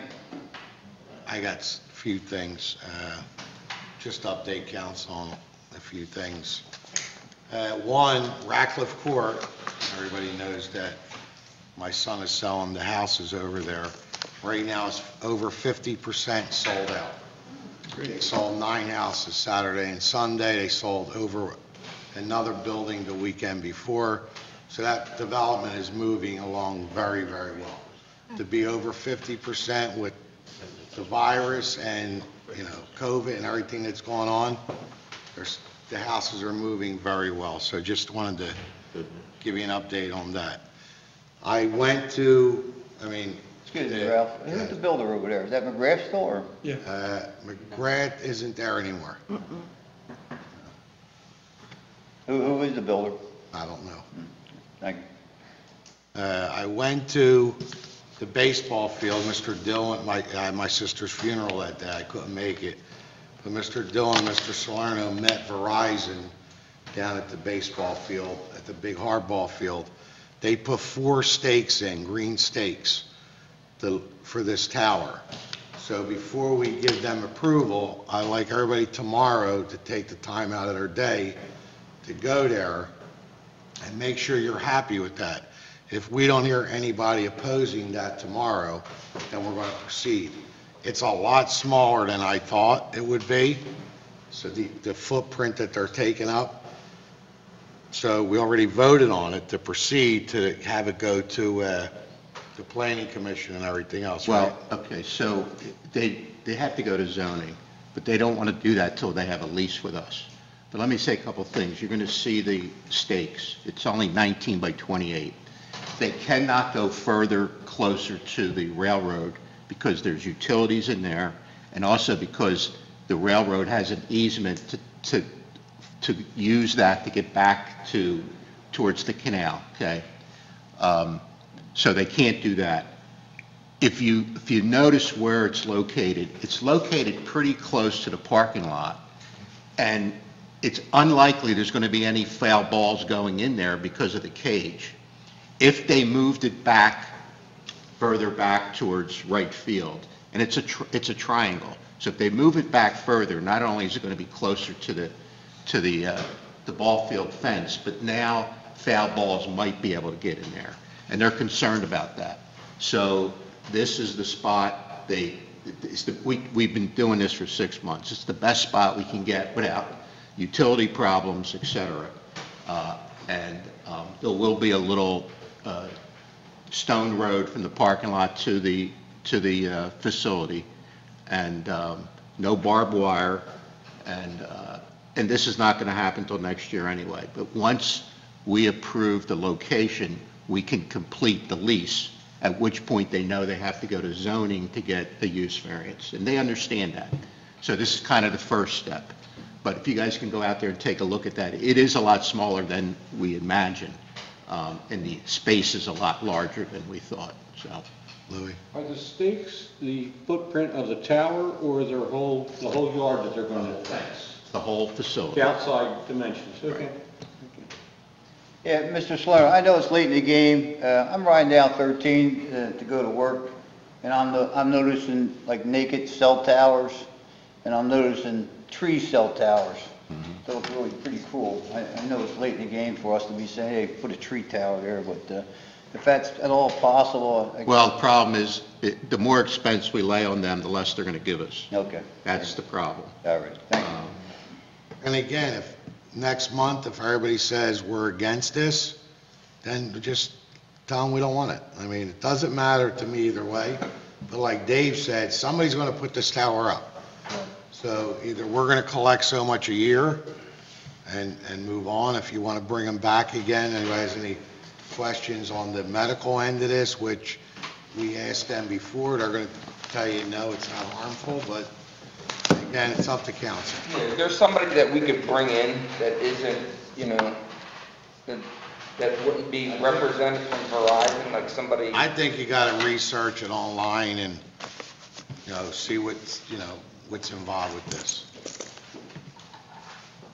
All right, so that's the other thing. If everybody noticed that Elm Street has now been taken down, mm-hmm. the only thing left this week, they're gonna come in and grade it and hydroseed it. We're gonna leave the fence up until we get green grass, because if not, the kids are gonna start riding through it, and it's gonna be harder to grow. I think it really looks nice if you look at that little footprint for the amount of houses that were there, it's amazing. Yeah. But, uh, again, at one time, it was a great street, a lot of great people lived there, so. You get your Okay, railings? yeah, I appreciate it. I made sure that the railing was there for you, Mr. Yeah, I appreciate that. They were super heavy too. That's real wrought iron, That it's was, not like believe me, today. I tried to lift it up, I thought I had to use a lot of technique. As far as Chestnut Street is concerned, uh, letters have been going out to the homeowners, uh, if they're interested in moving or selling their property to the borough. If they're not, not to the, to the RDA. If nobody is interested, the RDA has a plan to move forward with or without the sale.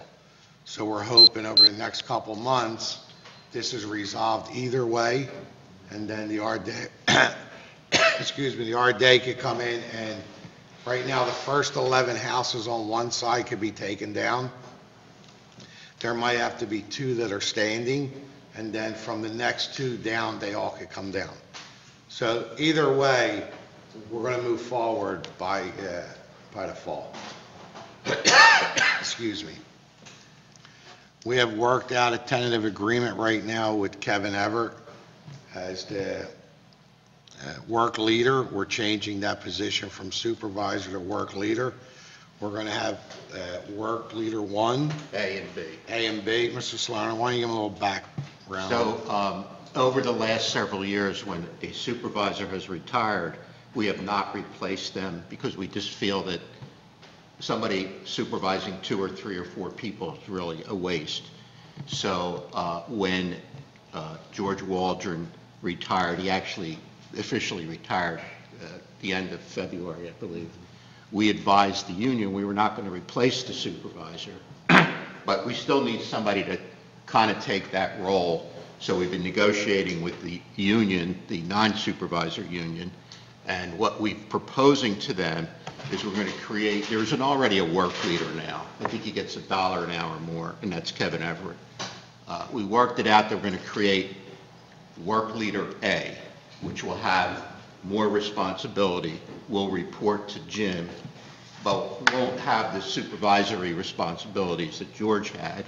And the proposal is we would pay that person half the difference of what George was getting. Just round numbers, George was getting $14 more an hour, so this, this person would get $7 more an hour. Uh, And so we're going to save money there. And um, so we submitted that proposal. Uh, The union has agreed to it. I just have to put it in writing and get everybody to sign off. Uh, Kevin has been acting in, in uh, George's place since October. I think Mr. Dillon is very happy with that arrangement. He seemed to taking to it. Uh, It's not necessarily his, it has to be posted, but because of the seniority, he's most likely going to get it. So uh, it, once we work out an agreement, it will be posted, and then the work leader B will be posted also. Uh, And whoever has seniority and wants it will get that. Uh, So that's kind of worked out pursuant to our overall plan to try to limit this number of supervisors. Uh, So um, I'm going to ask that that be on the agenda for council to approve that work leader A position, and then we'll work out the details. So does anybody have any questions about this, or I think Kevin's doing an outstanding job, but again, the job has to be posted. Anybody could apply for the job that works, either in the sewer department or on the street and highway, but I think Jim's uh, very happy with Kevin, and the only thing the union did say is that Kevin cannot discipline because he's not a supervisor, and Mr. Dillon has taken that role on, which he would have, would have done anyway. You know, if not, there was an issue, he would have been the one that come in and discipline. So without that, that could be, s- we need to vote on that tonight, so that'll be, somebody start another. You want to make the motion now? Mr. Croce made the motion, second by Mr. Gorman. Questions or comments? All those in favor? Aye. Opposed? Okay. The other thing is, uh, we talked about recreation, that we're trying to uh, work with the AOC and and this work, the school board, to create something. Uh, The Army Corps of Engineers were in town, I've already seen them last week, Uh, assessing the flooding with Silver Lake and different projects. That's, they come in on their own. There's nothing we can do about that, but they've been in town, so if anybody's seen them, you know what's going on. We have a shred event that's planned, which we usually do. We didn't do it last year because of COVID, but we're trying to get the shred event scheduled, hopefully in May or June. Most likely, it's going to get done in June. Just so you know that the roof, we had somebody come out and evaluate the entire uh, building here with the roof. There's a lot of hidden, they're called hidden gutters that Dave probably will know more than anybody what I'm explaining. All the copper is split, and there's photographs, Dave, if you want to look at them, Mr. Dillon has. uh, So we're going to have to go out, there's a lot of maintenance that needs to be done. The clock tower, if you, when you leave here, if you look above the glass window, you can see there's a major leak there, there's a leak inside where the girls are. So we need a lot of maintenance done on the building, so we don't know if we want to, How old is that roof, Ralph? 15, 17, 18 years. Yeah, we should- we But should- the we roof should- isn't bad, it's Yeah, the, it's just the- we the, uh, never copper. relined the copper hidden gutters. So Was if it- you was want to look Was at the copper replaced when the roof No. was installed? But if you want to look at all that, we, if you look, there's areas on the building that there's a lot of rot that needs to be fixed. The chimney needs a lot of uh, brick pointing.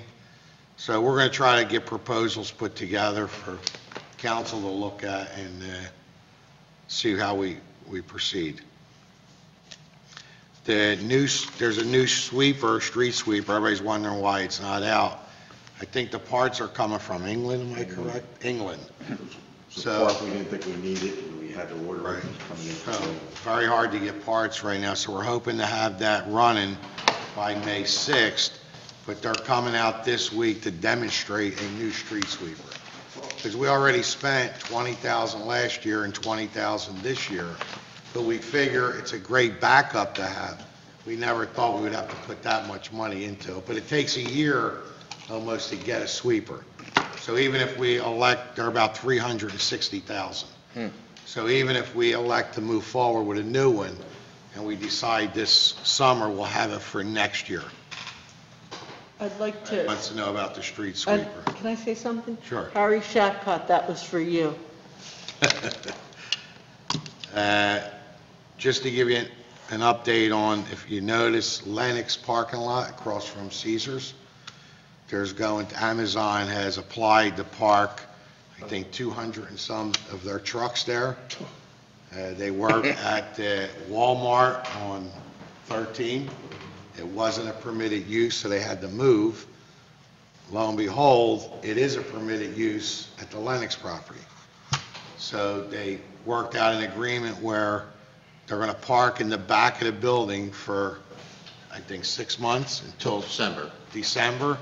In the meantime, we need to address, uh, maybe looking at zoning for this entire town for stuff like this, because it only can get worse. I believe, and I know when somebody asked a question about this building behind Antonelli's, to me, it's it's either going to be or something, I because think so. they don't tell you who the straw buy, who they are. Mhm. So, but, uh, you know, Now, will they be parking uh, like regular vans, or will You it be? see all them vans that say, uh, But, but not any tractor trailer No, thing? no. Okay. the people come, they leave their car, they get in the van, they go deliver. Okay. The f- fulfillment center is right here on Route Right, 13. I, s- I know. So we Okay. need to really start focusing on things All right. like this before we get overtaken with, with trucks. We didn't, we didn't want any, but Mr. Slurny, you want to explain Yeah, why? we, we put some conditions on this, even though it is a permitted use, and it- we- we couldn't battle that. But um, somebody will be, there'll be a supervisor there. Um, uh, There's still enough spots for the other workers. If you notice, Lennox has less and less cars back there, so. And uh, they're going to ask the Amazon to ask the truck drivers to use the state road, Green Lane, North Racket Street, not come through town. We can't enforce that, but we're asking them not to be driving all through town. So, but it's only till December, it's short term. My guess is they're going to have, to do something over on 13. They just haven't gotten to it, uh, on, in the township. So that was kind of the best we could do under the circumstances. So, um, and, you know, they're good to us in that they opened their lot for doo-wop and all. So eh, we we didn't want to ruffle any feathers. Fact that it's short-term, we'll just have to deal with it. You know, they- they have 200 some spots. It doesn't mean they're going to fill them. Uh, But, uh, so. I So don't- Bill, will they be using Green Lane to come, I guess? We've asked, well, if they're going to the fulfillment center, I guess they will be, but we've asked them, they asked Amazon to limit, don't come through town if you don't have to. So, but if they're going to the fulfillment center, it's on 13, they'll go down Green Lane because it's right there. Wow. Yeah, but that, there's, it's a state road, nothing we can do about it. in I know. Radcliffe. And And where long- it's at, you- most likely you have to use Green Lane, because if you go to Edgely, you got to come back and make a U-turn. Yeah. So most likely they're going to come out of there, go up Green Lane. That- That's going to be a Yeah. problem. That's going to be a real problem. I mean, uh, you need to, you don't expect all these things that come up in zoning. I mean, Sally basically denied this, and their attorney wrote back and said, that no, it's a permitted use, so. Yeah, the- these are new uses, just like these truck uh, parking lots like they have in the township. So, so we'll be talking about developing some zoning. Uh, You know, we just can't exclude them, that's the problem, but uh, it's a new thing, it's a new, it's, it's a new world where you have the concentration of trucks and vans. You never had that before. You go anywhere, you go to Wawa and you see 10 or 20 in there getting gas. Drone parking, because they're going to be delivering by drones. Got that right. Okay, the other thing is, we're going to be working on the three locks that are down at the wharf, the lookout uh, platforms at the marsh. We're looking at repairing the three of them in-house, hopefully with our guys. Uh, The money will probably come out of some of that money that we got from the the 150,000 from the rink. The other thing, we have uh, signed off with RNS Contracting to uh, pave the basketball courts, rebuild the bridge, and uh, repave all the areas of the path that need to be repaved. So in the next, we- we told them, if you can, the first thing is the the courts and the bridge, because somebody, again, another board, somebody stepped through the bridge, so we're getting close to shutting the bridge down.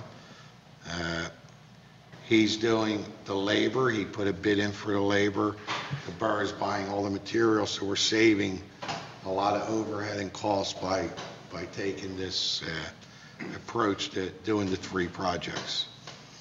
And the last thing I have is uh, the SEPTA train station, I mentioned a while ago.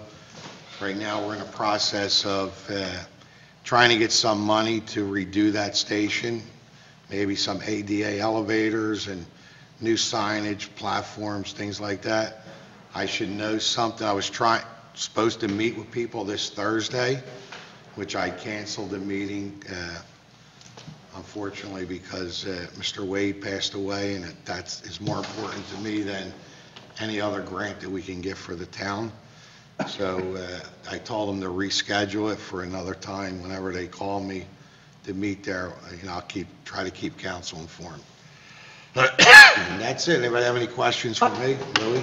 I, I just wanted to mention that the, uh, uh, Danucci's really did a remarkable job tearing that, you know, that, that street down. He didn't bother, it seems like it came down without any, any effort, you know, and I know it was a lot of effort, but they really did a good job, and I think we should pass that message along to the RDA and even send a, a letter to Danucci that we appreciate the job they did, and, uh, it really looks, it really looks nice.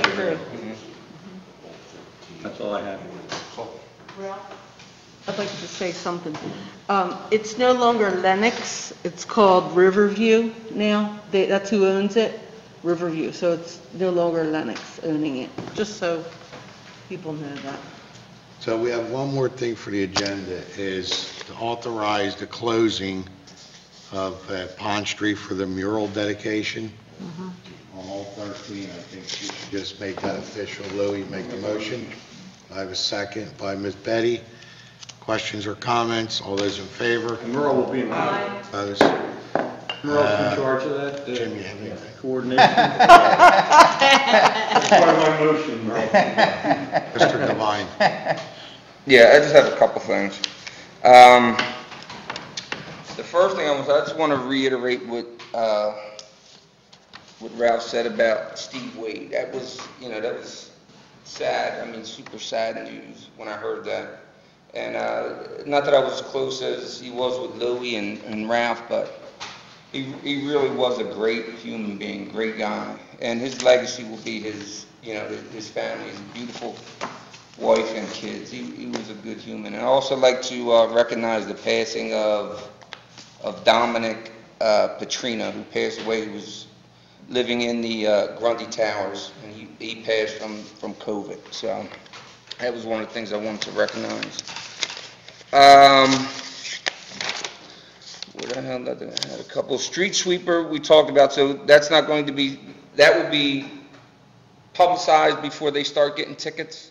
Yeah, we always do. I know, I just want to make sure, I- you know, 'cause- Always a two-week grace period. Okay, and somebody asked me, that's why. And then the other thing I had was, um, are we, are we grooming somebody else for the, uh, zoning officer job?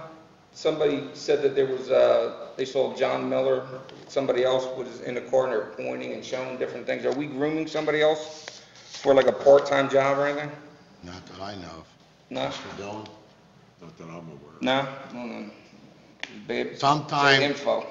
Sometimes him and Sally go to court, or they'll go look at a zoning, uh, like somebody applies for something, so maybe she was in the car Oh, with him. okay, gotcha. See how rumors start? That's why I asked.